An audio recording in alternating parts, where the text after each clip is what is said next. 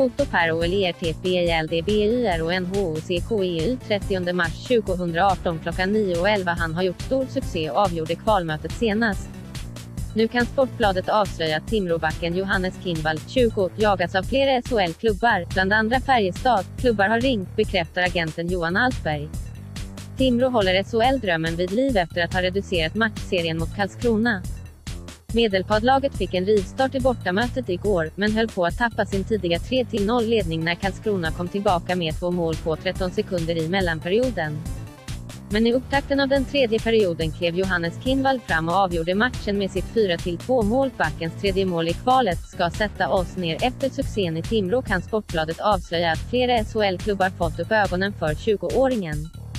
Enligt uppgifter är Färjestad en av klubbarna som har visat ett konkret intresse för honom. Klubbar har ringt, det kan jag säga, men jag vill inte kommentera vilka klubbar det handlar om, säger Kimvalls agent, Johan Altberg, Johannes har fullt fokus på kvalet nu. Vi ska sätta oss ner efter säsongen och utvärdera vad som är bäst för just honom, fortsätter han.